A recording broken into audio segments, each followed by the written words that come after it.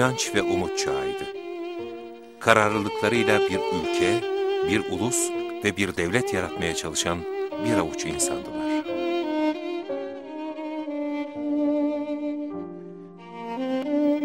Önce Anadolu'nun küçük bir kasabasından modern bir ulusun başkentini kurdular. Daha sonra yıkılmış, yakılmış kentleri yeniden tek tek inşa ettiler.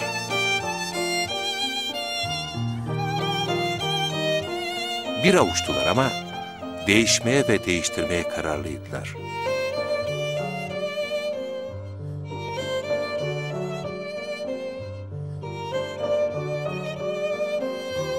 Müslüman ağırlıklı, çok dinli, çok kültürlü bir imparatorluğun enkazından muasır medeniyet düzeyinde bir toplum yaratmaya uğraştılar. Giyim kuşamdan sanata, yazıdan hukuka, köyden kente, dış görünüşten kafalara, eğitimden dile, siyasal yapılanmadan ekonomiye kadar çağdaş bir toplum yaratmak için düştü. Yerine genç bir cumhuriyet devleti kurulmuştu. Yeni rejimin öncüleri değişim rüzgarını arkalarına alıp yeni ufuklara açılmışlardı. Özetle ülkede Atatürk'ün önderliğinde gerçek anlamda bir liberalleşme ve batıllaşma hareketi başlatılmıştı. Türk milletinde hem zihniyet hem de görünüş değişikliği yapılmak isteniyordu. Bu amaçla kılık kıyafet reformu gerçekleştirildi. Atatürk bu konudaki düşüncelerini şöyle ifade eder. Cevheri gösterebilmek için çamura atmak lazım. Çok cevherli olan bizim milletimize layık olan kıyafet, medeni ve beyner milal kıyafettir. Öyle giyineceğiz. Ayakta iskarpin, potin, pantolon, yelek, gömlek, kravat, ceket ve bunları tamamlamak için başta siper şemsi serpuş. Açık söylemek isterim, buna şapka derler.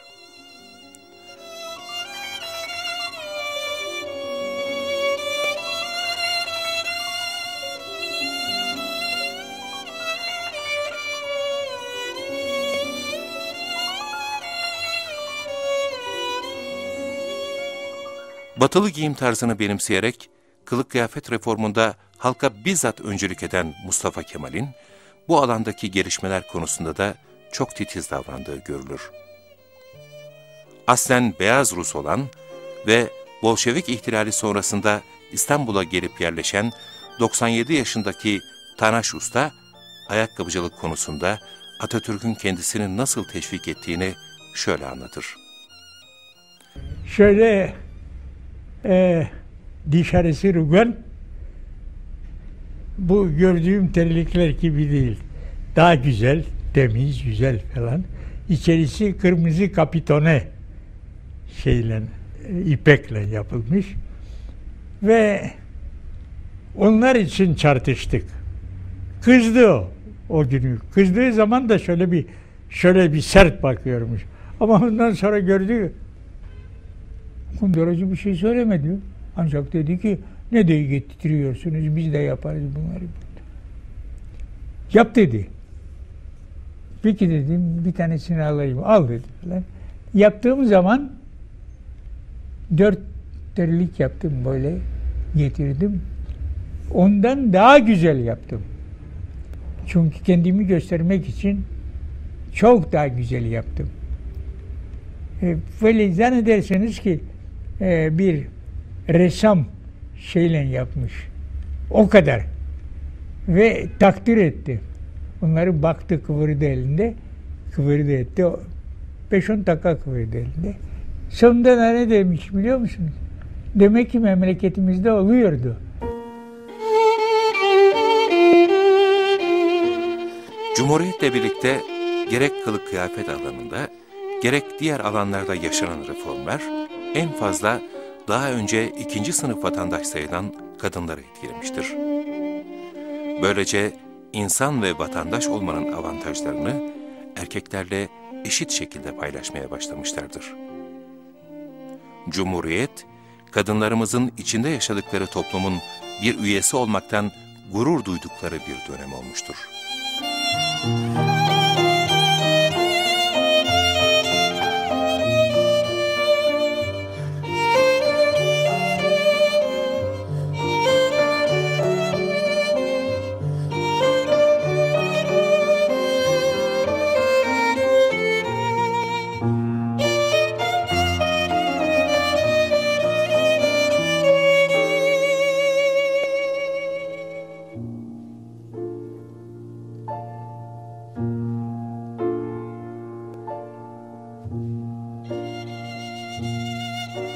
Cumhuriyetle birlikte Türk kadını batılı giyim tarzını benimsemiştir.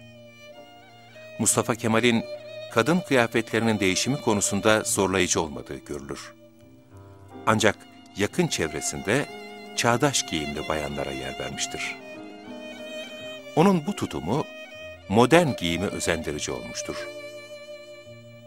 Eşi Latife Hanım, dönemin en çağdaş kadını görünümündedir.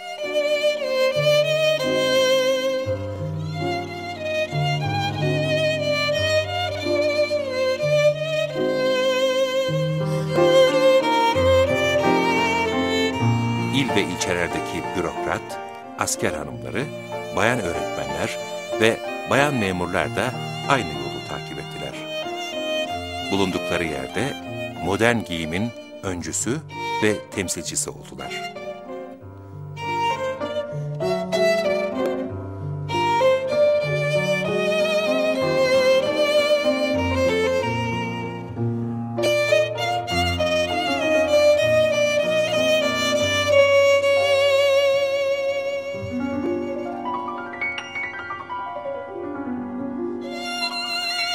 Meclisinde yer verdiği, sürekli destekleyip teşvik ederek modern Türk kadını tipinin yaratılmasında önce olarak sunduğu kadınların başında Afet İnan ve Sabiha Gökçen gibi isimler geldi.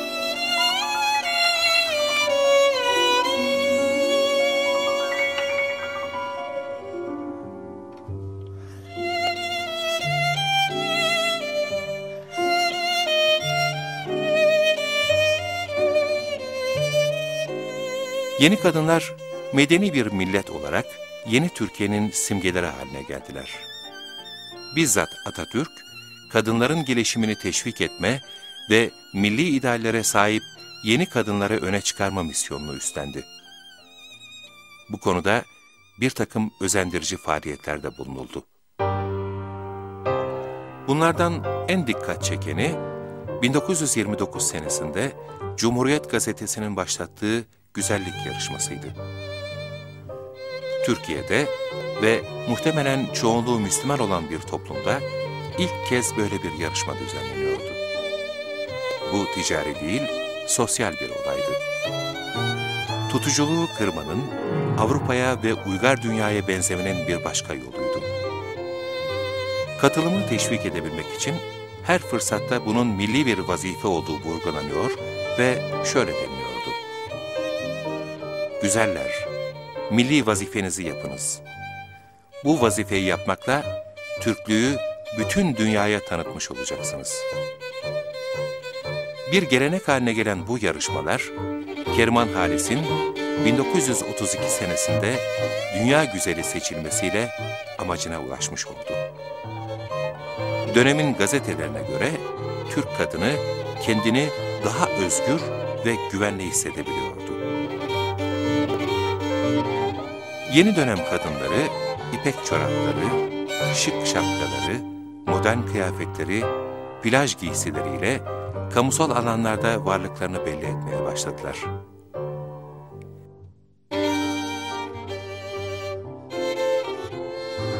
Kimi zaman gazete kupürlerinde, kimi zaman reklamlarda gülen yüzleri, yapımlı saçları, bakımlı elleri, düzgün fizikleri ve şık kıyafetleriyle karşımıza çıkıyorlardı. Mustafa Kemal, yeni rejimin başarılı olması, istenilen çağdaşlık seviyesine ulaşılabilmesi için kadınlara hak ettikleri hakların verilmesinin nedenle önemli olduğunu her fırsatta vurguluyordu. 30 Ağustos 1925'te Kastamonu'da yaptığı bir konuşmada kadınlara erkeklerle eşit haklar tanınması gerektiği bir toplumun ancak böylelikle gelişip kalkınabileceği konusundaki görüşlerini şu ifadelerle dile getirdi. Bir toplum, bir millet, erkek ve kadın denilen iki cins insanlardan oluşmaktadır. Olabilir mi ki bir kitlenin bir parçasını ilerletelim, diğerini göz ardı edelim de kitlenin tamamı ilerlemiş olabilsin? Mümkün müdür ki bir toplumun yarısı topraklara zincirlerle bağlı kaldıkça diğer kısmı göklere yükselebilsin? Şüphe yok, ilerleme adımları dediğim gibi iki cins tarafından beraber arkadaşça atılmak ve gelişme sahalarında ve yenilikte birlikte mesafe almak gereklidir.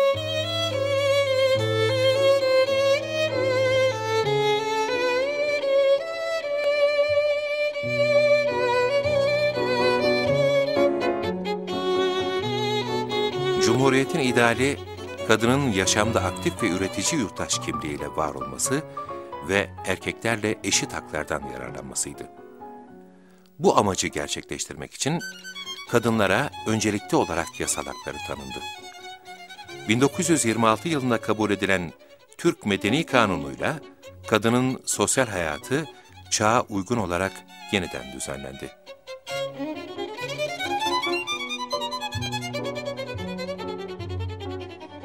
Henüz Avrupa'da pek çok ülkede kadına seçme ve seçilme hakkı verilmeden Türk kadını 3 Nisan 1930 tarihinde belediye seçimlerine katılma, 5 Aralık 1934 tarihinde de milletvekili seçme ve seçilme hakkı elde etti. Hatta Atatürk'ün bizzat ilgilenmesi neticesinde 1935 seçimlerinde 18 kadın milletvekili mecliste yer aldı. Artık dönemin gazetelerine kadınlar pek çok alandaki başarılarıyla konu oldular.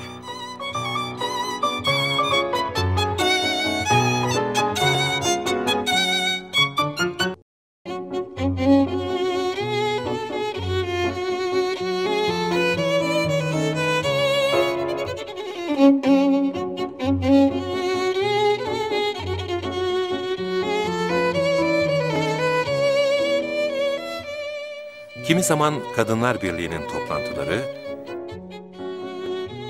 kimi zaman muallimlerin mezuniyetleri,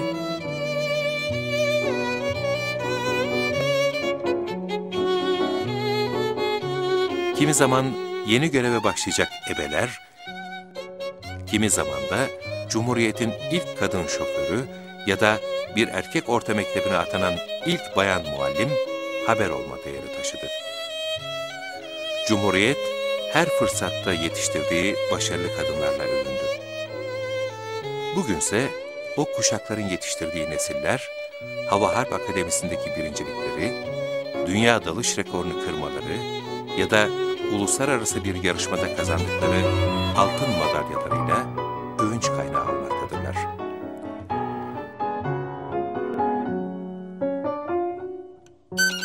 Kadınların bugünkü konumlarına gelebilmesinin ancak eğitimle sağlanabileceğine inanan Atatürk, 1 Mart 1922'de Türkiye Büyük Millet Meclisi'nin açılış konuşmasında eğitimle ilişkili düşüncelerini şu şekilde açıklar. Hükümetin en verimli ve en önemli görevi eğitim hizmetleridir. Bu görevi başarabilmek için eğitim programlarının milletimizin bugünkü durumuyla sosyal ve ekonomik ihtiyaçları, çevrenin şartları ve asrın gereğiyle uygun ve uyumlu olması esastır. Eğitim siyasetimizin temeli, cehli ortadan kaldırmak, bütün köylüyü okutmak, vatanını, milletini, dinini, dünyasını tanıyacak kadar tarih, coğrafya, ahlak bilgileriyle donatmak, aritmetiği öğretmektir. Orta öğretimin amacı, memleketin muhtaç olduğu hizmet ve sanat adamlarını yetiştirmek ve yüksek öğrenime aday hazırlamak olmalıdır.''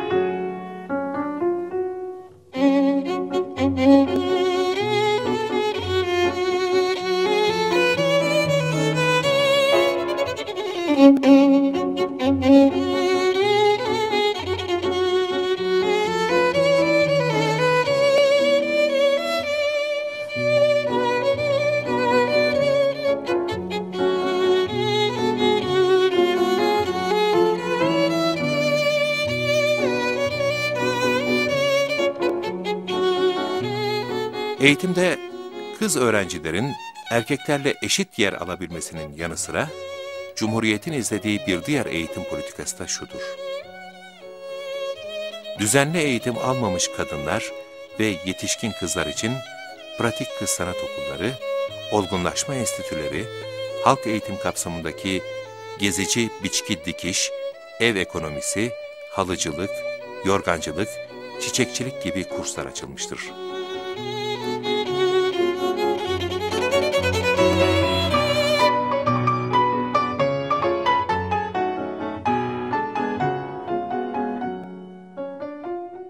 1928 yılında ülkenin bu alanlarda duyduğu ihtiyacı karşılayabilmek amacıyla 12 kız öğrenci Avrupa'ya bilgi ve görgülerini artırmak için gönderilmiştir. Atatürk devrinin eseri olan kız sanat okulları ve enstitülerinin sayısı bu dönemde hızla artmıştır.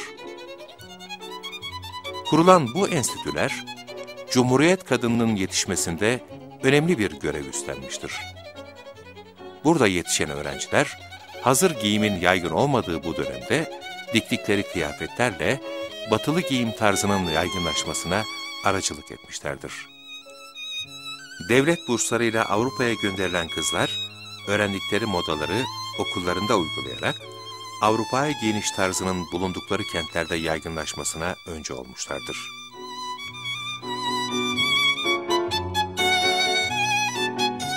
Bu kurumlardan biri olan Ankara Olgunlaşma Enstitüsü, Mustafa Kemal'in kıyafet enkılabındaki öncülüğünü vurgulayabilmek için onun birbirinden şık kıyafetlerini yeniden yorumladı.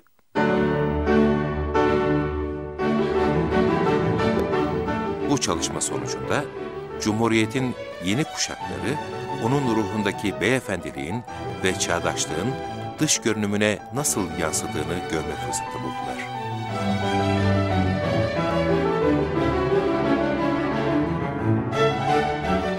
Şapkasından kemerine, bastonundan ayakkabısına, ceketinden pantolonuna kadar pek çok kıyafetini ve aksesuarını araştırıp yorumladılar.